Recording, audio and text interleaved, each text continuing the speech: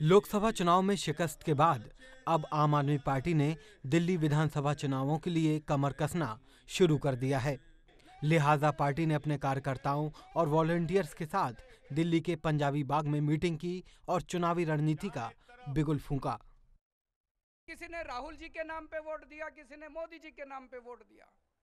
लेकिन आज दिल्ली की जनता कह रही है कि एक बार छोटा चुनाव आने दो, आपके काम के ऊपर सारी कसर पूरी करेंगे, जितनी कसर इस चुनाव में रह गई, सारी कसर हम पूरी करेंगे। तो आज से 2020 की तैयारी शुरू।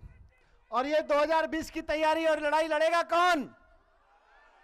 यहाँ जितने लोग बैठे हैं और बहुत सारे लोग आ नहीं पाए होंगे। टीम केजरीवाल बन के चुनाव लड़ना है, टीम केजरीवाल बन के।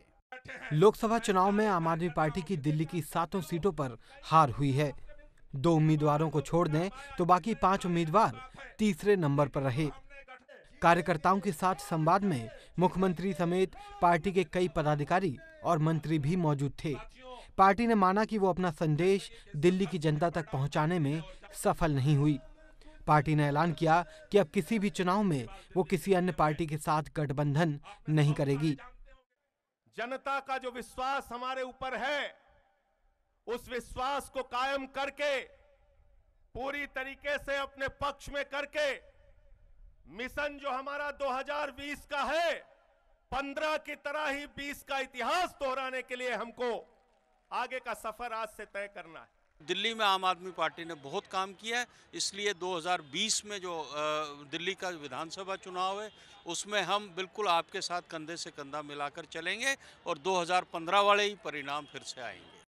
2015 में विधानसभा चुनाव में आम आदमी पार्टी ने दिल्ली की 70 में से सड़सठ सीटों पर जीत दर्ज की थी, लेकिन इस बार हालात बदले हुए हैं। यही वजह है कि 2020 में होने वाले विधानसभा चुनावों के लिए आम आदमी पार्टी ने अभी से अपने कार्यकर्ताओं को सक्रिय होने का आह्वान किया है।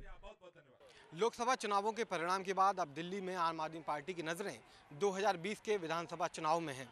लिहाजा नारा दिया गया है कि दिल्ली में तो केजरीवाल और आम आदमी पार्टी ने साफ़ कर दिया है कि इस बार चुनावों में पार्टी दिल्ली सरकार के काम को लेकर जनता के सामने जाएगी। दिल्ली से कैमरा पर्सन अश्विनी के साथ शशांक पाठक स्वराज एक्सप्रेस।